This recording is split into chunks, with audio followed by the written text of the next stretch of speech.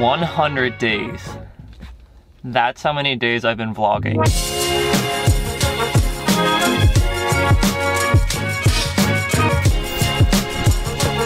How to pick up this poster for Nick. We'll talk about that in a sec, and we'll talk about vlogging for 100 days. Additionally, we got to talk about this conference that I'm at here in Massachusetts, but don't worry, it all ties together that, the poster, and vlogging. So by the end of this video, it'll all make sense. All right, so real quick, what am I doing in Massachusetts at this conference and what is this conference? So this conference is a marine tech conference and if you don't know, Nick is a marine technician and has been for the past three years in Bermuda. I'll link some videos up here for that. Um, anyway, Nick has recently given me an opportunity to write software for his company in Bermuda, and that was really great, and I'm grateful for that.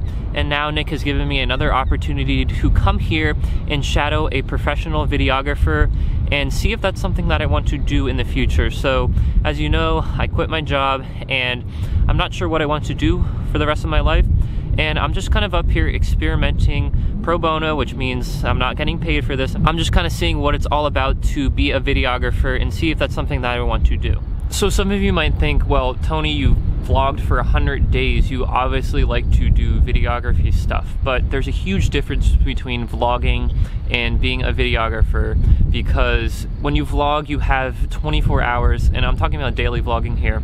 When you daily vlog, you have 24 hours to put out a video, and there is no room for perfectionism there.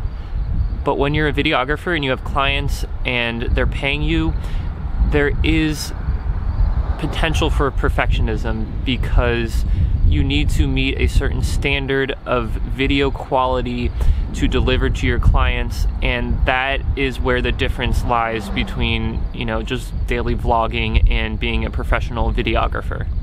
So in other words both professional videographers and daily vloggers make videos. We all know that.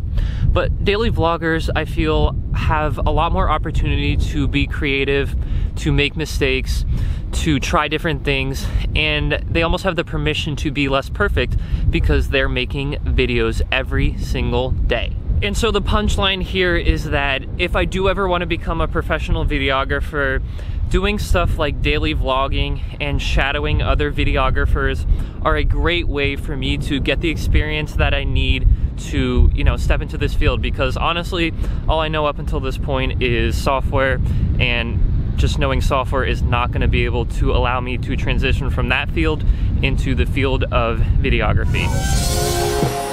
And becoming the best at it and mastering myself and seeing what I have within me. If you decide to drop your buckets where you are and develop your gifts, I grant you, you'll never ever be without.